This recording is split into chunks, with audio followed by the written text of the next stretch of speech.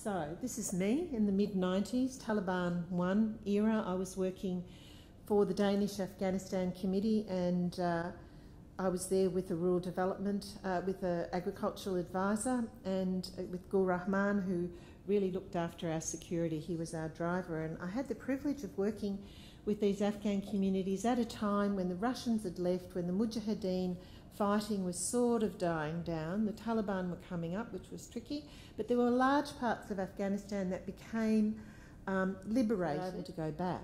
And DACAAR had trust, the word that that uh, both, both Jacqui and Natalie used. They, they had, and what happened is collectively over time, you achieve a lot more and you move from tangible to intangible.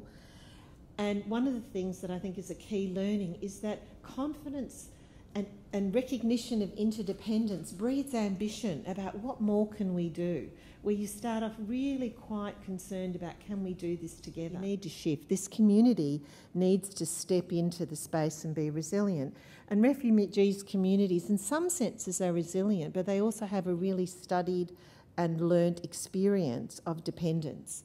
When you leave with nothing, and your children and you're dependent on others providing food, you, you, you've lost that mechanism. And these communities had been fractured. So my role was to work with men and women separately, because it's a very segregated community, to build that confidence again and to start to do things where the community could take control. So quickly, it was about going back to the villages, quite concerned about can we do this together. You end up doing a lot more. And so they built a story about local leadership, about a broader leadership base where women were recognised as having a voice, not equity, but voice. And they built solutions and they strengthened their interdependence.